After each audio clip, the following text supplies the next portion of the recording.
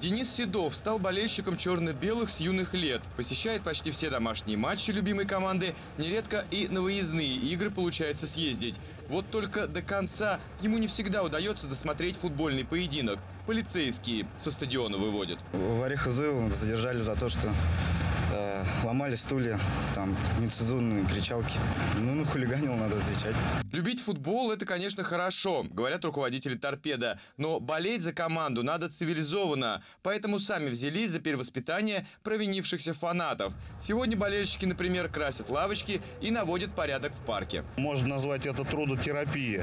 А, То есть э, клуб болельщиков э, не заинтересован, чтобы фанатский сектор или активная группа болельщиков да, э, хулиганила на стадионах. Помогает в уборке сквера и Полина Андрианова. Для нее это не трудовая повинность, а возможность заработать. Зарплату старается не тратить, копит. Но на что – не признается. У меня за месяц получилось семь с половиной. Всегда по-разному, в зависимости от того, сколько и как работаешь. Идет как ну, по свободному времени. Можешь, не можешь. Вот так вот.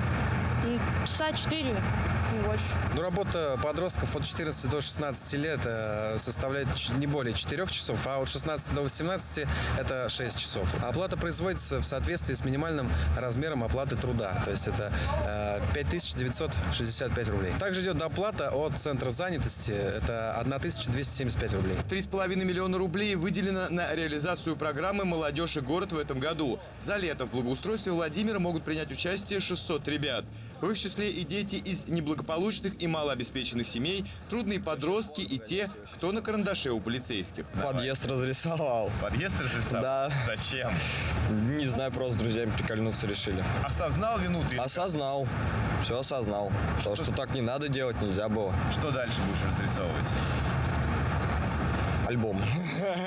Благодаря этим ребятам сквер на улице 850-летия должен заиграть новыми красками. За несколько дней бригада подростков должна покрасить детскую площадку.